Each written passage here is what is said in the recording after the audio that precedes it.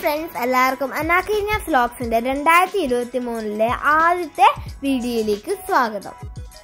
നിങ്ങൾക്കെല്ലാവർക്കും ഐശ്വര്യപൂർണമായിട്ടുള്ള ഒരു നല്ലൊരു വർഷം ആശംസിക്കുന്നു. ഞങ്ങളുടെ പഴയ വാഷിംഗ് മെഷീൻ ആണെങ്കിൽ കേടായിപ്പോയി. അപ്പോൾ ഞങ്ങൾ ഒരു പുതിയ വാഷിംഗ് മെഷീൻ വാങ്ങിച്ചു. പണ്ടത്തെ വാഷിംഗ് മെഷീൻ എൽ ജിയുടെ ആയിരുന്നു ഇപ്പോഴത്തെ ഐ എഫ് പിയുടെ I F P front load washing മെഷീനിന്റെ അൺബോക്സിങ്ങും പ്രോഗ്രാമിംഗ് ഡിസ്ക്രിപ്ഷനുമാണ് ഈ വീഡിയോയിൽ അവതരിപ്പിക്കുന്നത്. അഥവാ ഇവിടുന്ന് മാറ്റണമെന്നുണ്ടെങ്കിൽ താഴോട്ട് ഇറക്കുക അല്ലെങ്കിൽ വേറെ എവിടെയും കൊണ്ടുപോകണമെന്നുണ്ടെങ്കിൽ ഈ നാല് ഹോളിട്ട് ടൈറ്റ് ചെയ്തിട്ട് കൊണ്ടുപോകും. ഓഹോ അതിനകത്ത് ഡ്രം ഒടിയായിരിക്കാൻ പറ്റും. ആ.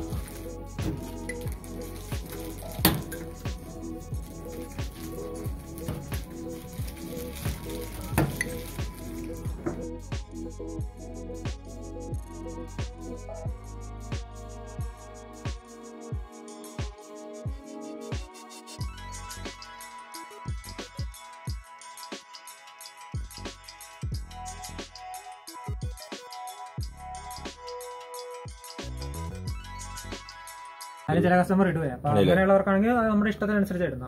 അപ്പൊ അങ്ങനെ ഉണ്ടെങ്കിൽ ഇതുകൂടി മാറ്റിയിട്ട് ഇതിനകത്തോട്ട് ഇടുക ഓ സോപ്പ് പൊടി ഇതിനകത്ത് ഒരിക്കലും ലിക്വിഡ് മാത്രമേ ഒഴിക്കാവുള്ളൂ. പിന്നെ അതുപോലെ തന്നെ ഈ സംഭവം ഇടുമ്പോൾ അത് എപ്പോഴും ശ്രദ്ധിച്ചോണം. നമ്മളിത് ഊരിയിട്ട് ഇടുമല്ലോ ഇടുമ്പോൾ കറക്റ്റ് ആയിട്ട് ഈ ലോക്കിനകത്തോട്ട് തന്നെ ഇടുകയും വേണം. ഒരിക്കലും കയറ്റി ഇടരുത് ഇങ്ങനെ ഇട്ട് നമ്മൾ ഇത് അടച്ചു കഴിഞ്ഞാൽ പിന്നെ തുറന്നു വരികയില്ല. പിന്നെ ഞങ്ങൾ വന്ന് ഇത് മുഴുവൻ അഴിച്ച് എന്നിട്ട് മാത്രമേ അടക്കാവുള്ളൂ. അപ്പോൾ ലിക്വിഡ് ഒഴിക്കാനുള്ള അത്. പിന്നെ ഇതിനകത്ത് മാക്സിമം ഉണങ്ങിയ തുണി എന്ന് പറഞ്ഞാൽ ആറ് കിലോ ഇടാൻ പറ്റുള്ളൂ. അത് എല്ലാ പ്രോഗ്രാമിനും പറ്റിയില്ല. ഈ കോട്ടനും കോട്ടനും കോട്ടൺ എക്കോയിലും മാത്രമേ ആറ് കിലോ പറയും പറ്റുന്നുള്ളൂ. ഇടാൻ പറ്റുന്ന മാക്സിമം തുണി. ആ ആറ് കിലോ എന്ന് പറയുന്നത് നമ്മൾ ഉണങ്ങിയ തുണി നമ്മൾ ഇട്ടതിന് ശേഷം തുണിയുടെ മേളിൽ നിന്ന് ഡ്രം വരില്ലേ ഈ ഡ്രമ്മുമായിട്ട് ഇതുമായിട്ട് ഈ ഒരു ഡിസ്റ്റൻസ് ഗ്യാപ്പ് കൊടുക്കണം. അതായത് തുണിയുടെ മേളിൽ നിന്ന് ഡ്രമ്മിലേക്ക് ഇത്രയും ഗ്യാപ്പ് മുട്ടുന്നുണ്ടോ നോക്കണം. കാരണം എന്താണെന്ന് വെച്ച് കഴിഞ്ഞാൽ നമുക്ക് തുണിക്ക് കറങ്ങാൻ ഒരു സ്പേസാണ് പറയുന്നത്. കാരണം നമ്മൾ ഓവറായിട്ട് നിറച്ചിട്ട് കഴിഞ്ഞാൽ തുണിക്ക് കറങ്ങാൻ പറ്റുന്നവർ അപ്പൊ എപ്പോഴും കുറച്ച് ഗ്യാപ്പ് കൊടുത്തേക്കണം. അതുപോലെ തന്നെ സോക്സ് മാസ്ക് ഇത് രണ്ടും കഴിവതും ഒഴിവാക്കുക. ഈ ചെറിയ ചെറിയ ഇതൊക്കെ ഇല്ലേ. അതൊക്കെ കഴിവതും നമ്മൾ കൈകൊണ്ട് കഴിയുന്നതായിരിക്കും ഏറ്റവും പറ്റും ബെറ്റർ.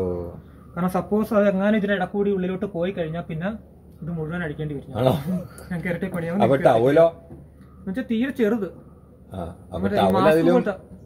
മാസ്ക് ഇടണില്ല ടവൽ ടവൽ ഇനി അഥവാ ഇടുവാണെങ്കിൽ തന്നെ ഏറ്റവും ഉള്ളിലോട്ട് കയറ്റി ഇടാവുള്ളൂ. പുറമേ വരരുത്. കാരണം ഇത് കറങ്ങുന്ന സമയത്ത് എങ്ങാനും പുറത്തോട്ട് വന്നു കഴിഞ്ഞാൽ ചിലപ്പോൾ ഇതുവഴി ഉള്ളിലോട്ട് പോകാൻ ചാൻസ് ഉണ്ട്. അപ്പൊ അതിനകത്ത് ഓസിനകത്ത് വന്ന് ബ്ലോക്ക് ആവും വെള്ളം പുറത്തോട്ട് പോകാതെ കെട്ടിക്കിടക്കും. പിന്നെ ഞങ്ങൾ വന്ന് ഇത് മുഴുവൻ അഴിക്കേണ്ടി വരും. അതുവരെ ഇതിനകത്ത് കിടക്കേണ്ടി വരും. അതുപോലെ തന്നെ തുണി ഇടുമ്പോൾ എപ്പോഴും ഇതിനകത്തോട്ടേ കയറി എടുക്കാവുള്ളൂ പുറത്തോട്ട് ചാടി നിൽക്കരുത് കാരണം ഈ ഡോർ പ്രോപ്പർ ആയിട്ട് അടഞ്ഞാൽ മാത്രമേ മെഷീൻ വർക്ക് ചെയ്യൂ അകത്തോട്ട് കയറ്റി ഇടണം. കഴിവതും പുറത്തോട്ട് ഇങ്ങനെ ചാടി നിൽക്കരുത് അതുപോലെ തന്നെ ശ്രദ്ധിക്കേണ്ട ഒരു കാര്യം നമ്മൾ ഓരോ വാഷ് ചെയ്യുമ്പോഴും ഇതിനകം ഒരു ഉണങ്ങിയ തുണി കൊണ്ട് നന്നായിട്ട് തുടക്കുക ഇതിനകത്തോട്ട്. റൗണ്ടിൽ കാരണം നമ്മൾ വാഷിങ് കഴിയുമ്പോൾ എങ്ങനെ വന്നാലും കുറച്ച് തടിഞ്ഞു കൂടും. അപ്പോൾ നമ്മൾ നോട്ടീസ് ചെയ്യാതെ വിട്ട് കഴിഞ്ഞാലുള്ള പ്രശ്നം എന്താ വെച്ചാൽ അവിടെ ഇരുന്ന് ആ ഉണങ്ങി പിടിച്ചു കഴിഞ്ഞാൽ പിന്നെ പോയില്ല നമുക്ക് ചെറുണ്ടി കളയാനോ പിന്നെ ക്ലീൻ ചെയ്താലും പോയില്ല അപ്പം. അപ്പോൾ അതവിടെ പുതിയ മെഷീൻ അല്ല. അപ്പോൾ അതവിടെ ഇരിക്കുന്നത് കറുത്ത് ഒരു കരിമ്പം പിടിച്ച കളർ പോലെ വരും. പിന്നെ നിങ്ങൾക്ക് അത് ഇരട്ടിപ്പണിയാവും. ഓ. ഇതാണ് പവർ ബട്ടൺ പവർ ഓൺ ചെയ്യുക അപ്പോൾ പവർ ഓൺ ചെയ്ത് പിന്നെ നമുക്ക് ചെയ്യേണ്ട പ്രോ- എന്ന് വെച്ചാൽ പ്രോഗ്രാം സെലക്ട് ചെയ്യുക എന്നുള്ളതാണ് അതിൽ ആദ്യം വരുന്ന മിക്സഡ് എന്ന് പറയുന്ന ഒരു പ്രോഗ്രാമാണ് മിക്സഡ് എന്ന് പറയുമ്പോൾ നമുക്ക് എല്ലാ തുണിയും കൂടി ഒരുമിച്ചിട്ട് കഴുകാൻ പറ്റും. കട്ടി കൂടിയത് കുറഞ്ഞ അങ്ങനെ എല്ലാം കൂടി. അപ്പൊ ഇതിനകത്ത് എന്ന് പറയുന്ന വെയിറ്റ് എന്ന് പറയുന്ന മൂന്ന് കിലോ ഇടാൻ പറ്റുള്ളൂ. അതായത് ഈ ഡ്രമ്മിന്റെ പകുതിയോളം തുണി. അതാണ് മൂന്ന് കിലോ എന്ന് പറയുന്നത്. ഇതിന്റെ നോർമൽ സമയം എന്ന് പറയുന്നത് ഒരു മണിക്കൂർ നാൽപ്പത്തി മൂന്ന് മിനിറ്റ് ആണ് വാഷ് ചെയ്ത് ഉരുപ്പിഴിഞ്ഞ് ഉണക്കിയിടുന്ന സമയം. നമുക്ക് ആ മണിക്കൂർ വരും. ആ ഒരു പ്രോഗ്രാമിന് രണ്ടാമത്തെ കോട്ടൺ എന്ന് പറയുന്ന പ്രോഗ്രാം നമ്മൾ സാധാരണ ഉപയോഗിക്കുന്ന കോട്ടൺ ഷർട്ടുകൾ പാന്റുകൾ അതുപോലത്തെ ഐറ്റംസ് ഒക്കെ കഴുകാൻ അത് നമുക്ക് വേണമെങ്കിൽ മിക്സ് ആയിട്ട് വേണമെങ്കിൽ അങ്ങനെ കഴുകാം. അപ്പൊ ഈ പറഞ്ഞ മൂന്നര മിക്സഡ് ഇടുമ്പോൾ മൂന്ന് കിലോ.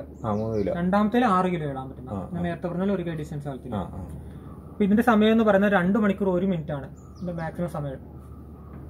പിന്നെ വരുന്ന കോട്ടൺ എക്കോ അതായത് കോട്ടന്റെ തന്നെ കട്ടി കൂടി ഇപ്പൊ ബെഡ്ഷീറ്റ് ജീൻസ് പാന്റുകൾ ഹോസ്പിറ്റൽ കേസ് തുണികൾ കോട്ടൺ എക്കോ എന്ന് പറയുന്നത്. അത് കുറച്ച് നന്നായിട്ട് കൂടുതൽ സമയം എടുത്ത് കഴിക്കും അതിന് ആറ് കിലോ തുണി ഇടാൻ പറ്റും. അതിന്റെ സമയം എന്ന് പറഞ്ഞാൽ രണ്ട് മണിക്കൂർ ഒമ്പത് മിനിറ്റ് ആണ്. മറ്റേനേക്കാൾ. എട്ട് മിനിറ്റ് കൂടുതൽ എടുക്കും. ജീൻസ് ഒക്കെ ആ ജീൻസ് ഒക്കെ ആണെങ്കിൽ നമുക്ക് കോട്ടൺ എക്കോയിൽ ഇടുന്നതായിരിക്കും ഏറ്റവും നല്ലത്. പിന്നെ നോർമൽ ഷർട്ടും പാന്റൊക്കെ ആണെങ്കിൽ കോട്ടൺ നോർമലിൽ ഇടുക.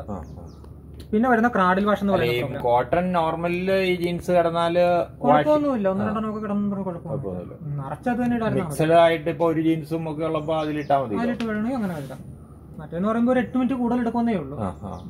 എക്കോയിൽ വരുമ്പോ പിന്നെ വരുന്ന ക്രാഡിൽ വാഷ് എന്ന് പറയുന്ന പ്രോഗ്രാം ക്രാഡിൽ വാഷ് എന്ന് പറയുമ്പോൾ മുത്തു പിടിപ്പിച്ച ഡ്രസ്സ് പാർട്ടി വേറെ അങ്ങനത്തെ ഡ്രസ്സുകളാണ് ക്രാഡിൽ വാഷ് എന്ന് പറയുന്നത്.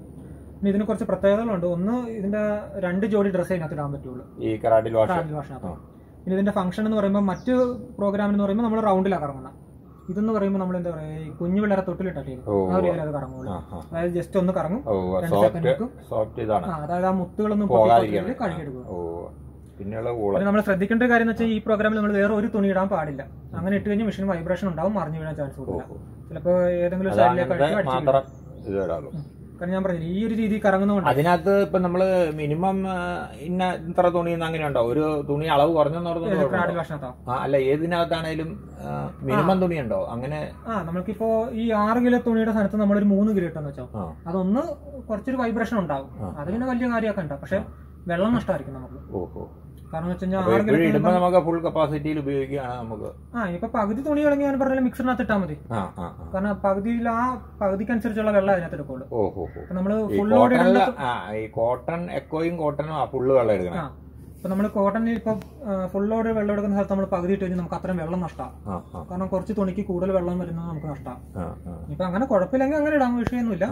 പക്ഷെ പകുതി ഉള്ളെങ്കിൽ മിക്സറിനകത്ത് ഇടുന്നതായിരിക്കും ഏറ്റവും ബെറ്റർ ഇപ്പൊ ക്രാഡിൽ വാഷ് എന്ന് പറയുന്ന പ്രോഗ്രാം നമുക്ക് പാർട്ടി വെയറുള്ള ഡ്രസ്സുകൾ കഴുകാൻ വേണ്ടിയിട്ടാണ് ക്രാഡിൽ വാഷ് എന്ന് പറയുന്നത്. ഇതിന് ഏകദേശം ഒരു നാൽപ്പത്തിനാല് മിനിറ്റ് സമയം എടുക്കും. നാൽപ്പത്തിനാല് മിനിറ്റ് എന്ന് പറയുമ്പോൾ നമ്മൾ ക്ലോക്കിലെ സമയം കൃത്യമായിട്ട് നോക്കരുത്. കാരണം നിന്ന് നിന്നാ പറഞ്ഞത് പിന്നെ വരുന്ന വൂളൻസ് എന്ന് പറയുന്ന പ്രോഗ്രാം വൂളൻസ് എന്ന് പറയുമ്പോൾ നമുക്ക് ബെഡ്ഷീറ്റ് കമ്പിളിപ്പപ്പ് അതുപോലത്തെ മാത്രം കഴുകാൻ പറ്റും. ഇതിലും വേറെ തുണിയൊന്നും ഇടരുത്. ഒന്നെങ്കിൽ കമ്പിളിപ്പപ്പ് അല്ലെങ്കിൽ ബെഡ്ഷീറ്റ് അതിൽ ബെഡ്ഷീറ്റ് ഒക്കെ ആണെങ്കിൽ ഒരു ഡബിൾ ഷീറ്റ് ആണെങ്കിൽ ഒരു മൂന്നെണ്ണം ഇടുക സിംഗിൾ ആണെങ്കിൽ ഒരു നാലെണ്ണം ഇടാം. ഇനി അഥവാ കമ്പിളി ആണ് ഇടുന്നതെങ്കിൽ ഒരെണ്ണം ഇടാവുള്ളൂ. കാരണം അടുത്ത് മാക്സിമം വെയിറ്റ് പറയുന്നത് രണ്ട് കിലോയാണ് ആ. ഒരു പ്രോഗ്രാമിന് പിന്നെ വരുന്ന എക്സ്പ്രസ് വാഷ് എക്സ്പ്രസ് വാഷ് എന്ന് പറയുമ്പോൾ പതിനഞ്ച് ടു മുപ്പത്. ഒന്നെങ്കിൽ പതിനഞ്ച് മിനിറ്റ് ആയിരിക്കും അല്ലെങ്കിൽ മുപ്പത് മിനിറ്റ് ആയിരിക്കും. കാരണം നേരത്തെ എന്ന് പറഞ്ഞാൽ ക്വിക്ക് വാഷ് എന്ന് പറയുന്ന പ്രോഗ്രാം അതിന് പകരം അവർ ചേഞ്ച് ചെയ്താണ് എക്സ്പ്രസ് ആക്കുന്നത്. ആ. മിനിമം പതിനഞ്ച് മിനിറ്റ് വരെ അറിയുള്ളൂ അതായത് നമ്മൾ അന്നിരുന്ന ഡ്രസ്സുകളൊക്കെ ഒന്ന് കഴുകിയെടുക്കുക വിയർപ്പടങ്ങിയിട്ട് ഓ. അപ്പൊ മൂന്ന് പേര് അല്ലെങ്കിൽ ആ മൂന്ന് പേരിടുന്ന ഡ്രസ്സ്. കാരണം അതിനകത്ത് മാക്സിമം രണ്ട് ആ ആ ഇപ്പൊ ജിമ്മിൽ പോയിട്ട് വരുന്ന ഡ്രസ്സ് അല്ലെങ്കിൽ നമ്മൾ വീട്ടിൽ തന്നെ ഇട്ട് പെരുമാറുന്ന വിയർപ്പടങ്ങിയ ഡ്രസ്സ് ആ അല്ലെങ്കിൽ കുറെ നാളായിട്ട് ഉപയോഗിക്കുന്ന അലമാരി വെക്കുന്ന ഡ്രസ്സ് റീഫ്രഷ് ചെയ്തെടുക്കാനാണ് എക്സ്പ്രസ് വാഷ് എന്ന് പറയുന്നത്. പിന്നെ വരുന്ന അഡിറ്റീവ് റിൻസ് അതായത് ഊരിപ്പിഴിഞ്ഞെടുക്കാൻ വേണ്ടി മാത്രമുള്ളത് നമ്മൾ പുറത്ത് വാഷ് ചെയ്ത തുണികൾ ഇതിനകത്തുണ്ടെന്ന് ഊരിപ്പിഴിഞ്ഞാൽ മതി. അങ്ങനെ ചെയ്യാം.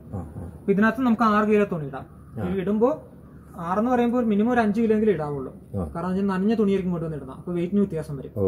അപ്പൊ സാറിന് ഇതിനകത്ത് കംഫർട്ടോ സ്റ്റിഫൻ ഷൈൻ അങ്ങനെ അഡീഷണൽ വേറെ എന്തെങ്കിലും ഒഴിച്ചു കൊടുക്കണമെന്നുണ്ടെങ്കിൽ അങ്ങനെ ഒഴിച്ചു കൊടുക്കാം.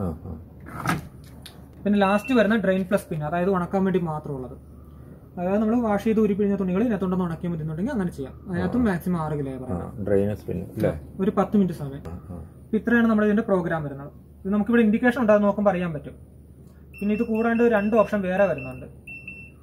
അതിലൊന്ന് റാപ്പിഡ് വാഷ് എന്ന് പറയുന്ന പ്രോഗ്രാം റാപ്പിഡ് വാഷ് എന്ന് പറയുമ്പോൾ നമുക്ക് ടൈം സേവ് ചെയ്യാൻ വേണ്ടിയിട്ടുള്ളതാണ് ഇപ്പം ഞാൻ ഈ പറഞ്ഞ പോലെ ഈ ഒരു പ്രോഗ്രാമിന് മിനിമം നോർമൽ റേറ്റ് സമയം എന്ന് പറയുന്നത് ഒരു മണിക്കൂർ നാൽപ്പത്തി മൂന്ന് മിനിറ്റ് ആണ് അപ്പോൾ സാറിന് അത്രയും സമയം വേണ്ട. നമുക്കൊന്ന് പെട്ടെന്ന് കഴുകി തീരണമെന്നുണ്ടെങ്കിൽ ജസ്റ്റ് ഇതിലൊന്ന് പ്രസ് ചെയ്ത് കൊടുക്കാം. ആ റാപ്പിഡ് വാഷിൽ ആ അപ്പോൾ എന്താണെന്ന് വെച്ച് കഴിഞ്ഞാൽ ഒരു മണിക്കൂർ നാൽപ്പത്തി മൂന്ന് മിനിറ്റ് എന്നുള്ളത് ഒരു മണിക്കൂറും പന്ത്രണ്ട് മിനിറ്റ് ആയിട്ട് ചുരുങ്ങി കിട്ടും.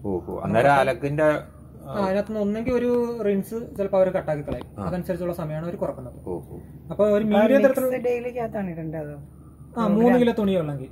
അപ്പൊ അത് നമുക്ക് ഒത്തിരി അഴുക്കില്ലാത്ത തുണിയാണ് നമ്മൾ കഴുകുന്നെങ്കിൽ നമുക്ക് ഒരു മണിക്കൂർ നാൽപ്പത്തി മൂന്ന് മിനിറ്റ് വേണ്ട എന്നുണ്ടെങ്കിൽ ഇതിൽ കൊടുത്താൽ നമുക്ക് അത്രയും സമയം കുറഞ്ഞു കിട്ടും. അതല്ല നല്ല തുണി അഴുക്കുള്ള തുണിയാണെങ്കിൽ അത് കൊടുക്കാതിരിക്കണമായിരിക്കും നല്ലത്. ഈ റാപ്പിഡ് വാഷ് ഇതിൽ ഏത് പ്രോഗ്രാം വർക്ക് ചെയ്യും? ഇല്ല നമുക്ക് പ്രോഗ്രാം മാറ്റുന്നതനുസരിച്ച് അവിടെ ലൈറ്റ് കളിയും ഇപ്പോ കോട്ടൺ ഉണ്ട്. കോട്ടൺ എക്കോയിലില്ല കണ്ടോ? ക്രാഡിൽ വാഷിനകത്തില്ല വൂളനസിനകത്തുണ്ട് പിന്നെ ഇത് കൂടാണ്ട് നമുക്ക് വേറൊരു പ്രോഗ്രാമും കൂടി വരുന്നുണ്ട് വാഷ് മോഡ് എന്ന് പറയുന്നത്.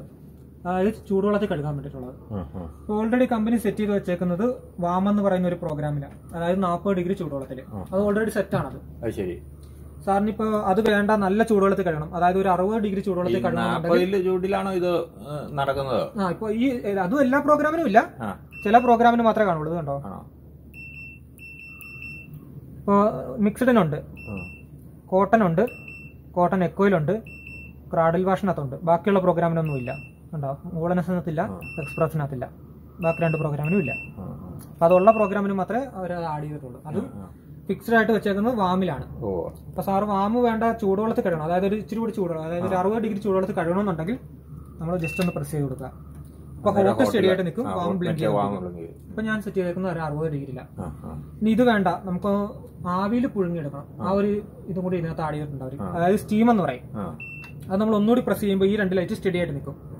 ഇതെന്തിനാന്ന് വെച്ച് കഴിഞ്ഞാൽ നമുക്ക് പുഴുങ്ങിയെടുക്കുന്ന രീതിയാണ്.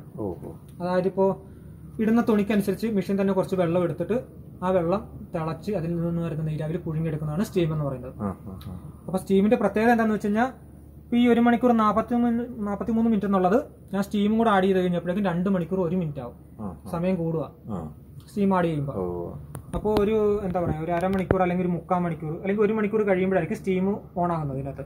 ആ സമയത്ത് മെഷീൻ ഒരു അനക്കം ഉണ്ടായില്ല ഇതുപോലെ ഓഫ് ആയിരിക്കും. ഓഫായെന്ന് വെച്ചാൽ ലൈറ്റ് എല്ലാം ഉണ്ട് പക്ഷെ വർക്ക് ചെയ്യല. ഓ.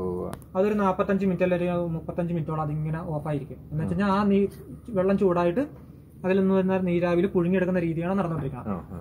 ആ, ഒരു പ്രക്രിയ കഴിഞ്ഞതിന് ശേഷം മാത്രമേ പിന്നെ മെഷീൻ വർക്ക് ചെയ്യുള്ളൂ സാറ് കംപ്ലൈന്റ് ആണെന്ന് വിചാരിക്കരുത്. സാർ സ്റ്റീം ആഡ് ചെയ്തിട്ടുണ്ടെങ്കിൽ മാത്രമേ അങ്ങനെ സംഭവിക്കുകയുള്ളൂ. അതും വേണമെന്നുണ്ടെങ്കിൽ മാത്രം. അത് നമ്മൾ കൂടുതൽ യൂസ് ചെയ്യുന്ന ഒന്നെങ്കിൽ സ്കിൻ ഇൻഫെക്ഷൻ ആയിട്ടുള്ള ഒരു ഡ്രസ്സ് ഇടുമ്പോൾ അല്ലെങ്കിൽ ഹോസ്പിറ്റൽ കേസ് തുണികൾ ഇടുമ്പോൾ അല്ലെങ്കിൽ ഈ മാസത്തിൽ ഒരിക്കൽ കഴുകുന്ന ബെഡ്ഷീറ്റ് ഇല്ല കട്ട് അങ്ങനത്തെ ഒക്കെ കഴുകുമ്പോഴാണ് കൂടുതൽ ആൾക്കാർ സ്റ്റീം യൂസ് ചെയ്യുന്നത്. അതല്ലെങ്കിൽ നമുക്ക് നോർമൽ ടെമ്പറേച്ചർ തന്നെ കഴുകുന്നുണ്ടെങ്കിൽ അങ്ങനെ കഴുകാം. അപ്പൊ മൂന്ന് പ്രാവശ്യം ഞെക്കുമ്പോൾ സ്റ്റീമാ വരുന്നത്. പിന്നെ ഒന്നുകൂടി ഞെക്കുമ്പോൾ വീണ്ടും. വരുന്നത് കോൾഡാ വരുന്നത്. ഓ അങ്ങനെയാണ് പച്ചവെള്ളത്തിൽ കഴുകാൻ വേണ്ടി. അപ്പൊ ഈ രണ്ട് ലൈറ്റ് ബ്ലിങ്ക് ചെയ്തുകൊണ്ടിരിക്കും. അപ്പൊ ഞാൻ സെലക്ട് ചെയ്തേക്കുന്ന കോൾഡ്. കോൾഡ് എന്ന് പറയുമ്പോൾ നമുക്ക് പച്ചവെള്ളത്തിൽ ഈ വരുന്ന ടാപ്പിൽ നിന്ന് വരുന്ന വെള്ളത്തിൽ കഴുകിയെടുക്കാന്നുള്ളത് അതിൽ നമുക്ക് കുറച്ച് കറണ്ട് ചാർജ് കുറയും. ആ അപ്പൊ ഈ സമയം എന്നുള്ളത് ഇച്ചിരി കൂടി കുറയും. ഒരു പത്തോ പന്ത്രണ്ടോ മിനിറ്റ് വീണ്ടും കുറയും. സമയം കുറയും. അത് ഈ സ്റ്റീം എന്ന് ഈ വാഷ് മോഡ് എന്ന് പറയുന്ന പ്രോഗ്രാം നമുക്ക് കോട്ടൺ എക്കോയിൽ സ്റ്റീം എന്ന് പറയുന്ന പ്രോഗ്രാം കാണിക്കല അതിൽ വാമും ഹോട്ടും മാത്രമേ ഉണ്ടാവുള്ളൂ. കോൾഡും ഇല്ല സ്റ്റീമും ഇല്ല. ഒന്നെങ്കിൽ നാൽപ്പത് ഡിഗ്രി അല്ലെങ്കിൽ അറുപത് ഡിഗ്രി ആ ഒരു രീതിയിൽ അത് കഴുകാൻ പറ്റുള്ളൂ. ബാക്കിയുള്ള പ്രോഗ്രാമിലാണ് ഈ പറഞ്ഞ പോലെ പോട്ട് ഉള്ളത് ഇപ്പൊ നമ്മൾ അവിടെ തിരിച്ചു നോക്കുമ്പോ സ്റ്റീം ലൈറ്റ് അറിയാം. അറിയാൻ പറ്റും. അപ്പൊ ബാക്കിയുള്ള പ്രോഗ്രാമിന് മാത്രമേ നമുക്ക് കോൾഡ് യൂസ് ചെയ്യാൻ പറ്റൂ ഫസ്റ്റ് നമ്മൾ പവർ പ്ലഗ് ഓൺ ചെയ്ത് കഴിഞ്ഞാൽ ഇവിടെ പവർ ഇതിപ്പോ ഓണായി തന്നെയാണ് ഇരിക്കുന്നതെങ്കിൽ അങ്ങനെ വെക്കാം.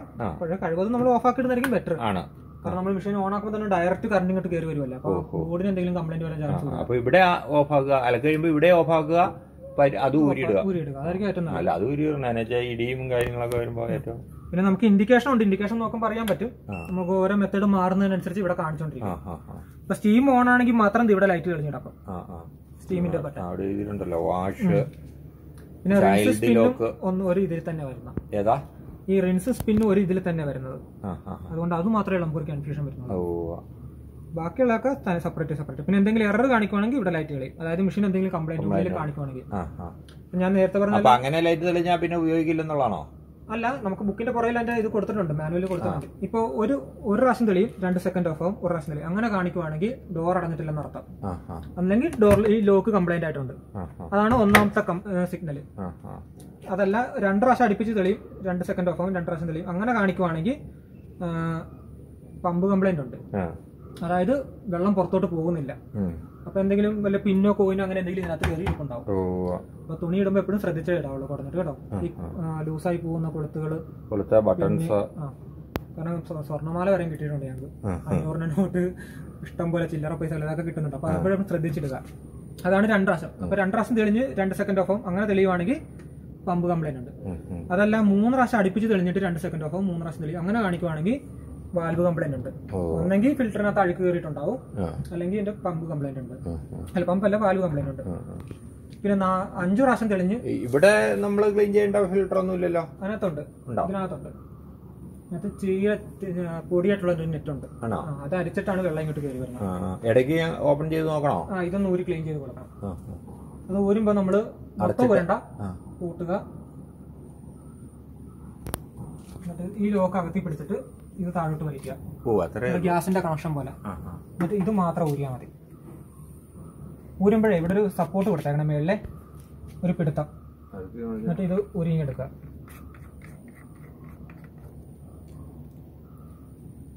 ഈ നെറ്റ് ഒന്ന് ഊരി ക്ലീൻ ചെയ്ത് കൊടുത്താൽ മതി. അത് എന്തെങ്കിലും സ്കൂട്ടർ ഡ്രൈവറിന് എന്തെങ്കിലും ഇവിടെ നിന്ന് ഉള്ളിൽ നിന്നിട്ട് കുത്തി ഇത് ഇളകി വരും. എന്നിട്ട് ഒന്ന് ബ്രഷ് കൊണ്ട് ഉരച്ച് കഴുകിയിട്ട് ഇതുപോലെ ഇങ്ങനെ പ്രസ് ചെയ്ത് വെച്ച് കൊടുത്താൽ മതി. എന്നിട്ട് ഇടുമ്പോൾ ആദ്യമേ ഈ ബുഷ് വെക്കുക. രണ്ടാമത് ഈ സംഭവം വെക്കുക. അതിനുശേഷം ഇതിനകത്തോട്ട് കയറ്റുക.